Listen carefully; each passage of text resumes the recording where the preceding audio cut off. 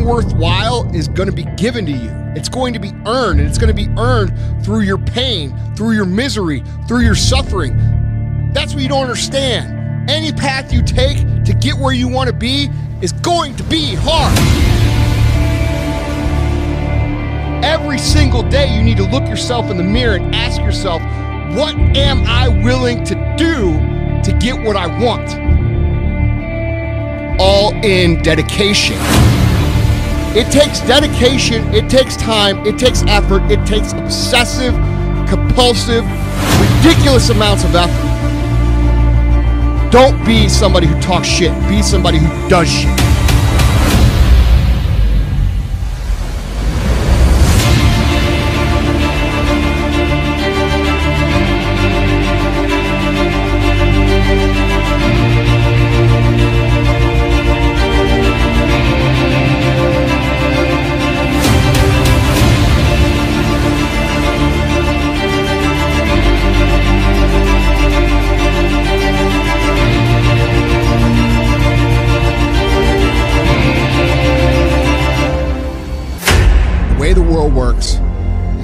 You focus on will become a reality. What you focus on and what you think about is going to become your life.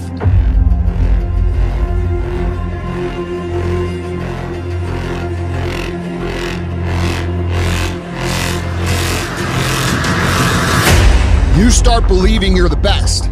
You start thinking you're great. If you're an athlete, you start skipping practice. You start cutting corners. You stop practicing.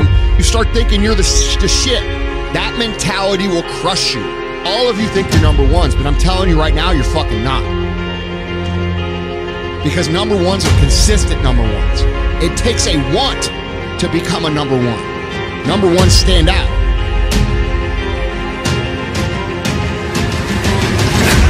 You deserve exactly what you get. And that's the truth. You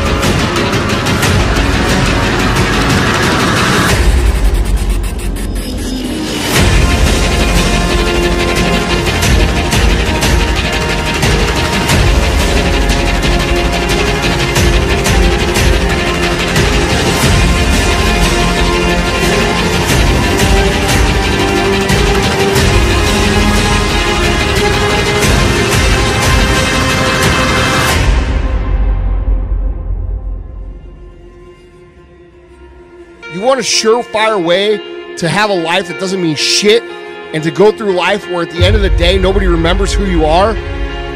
Do what everybody else is doing. Take the path of least resistance. Take the path of no criticism. Take the path of thinking that somebody owes you something. You're never going to be great looking for the easy way. What you do tells the world what you are. When you dream big, when you take big action, when you work to become something bigger than what it is now, you're going to have people criticize you. It's a good indication that you're on the right path. Everybody wants to be ripped. Everybody wants to be jacked. You like the idea of success as long as it's fucking easy, as long as it doesn't take dedication, as long as it doesn't, take you having to do things that you don't feel like doing when you don't feel like doing them. Success is grind, success is work, success is hustle. But if you quit now, you might as well just fucking quit forever.